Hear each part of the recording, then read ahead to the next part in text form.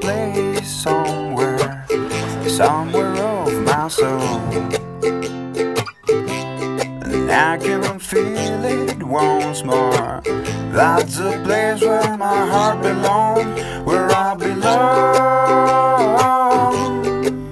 where I belong.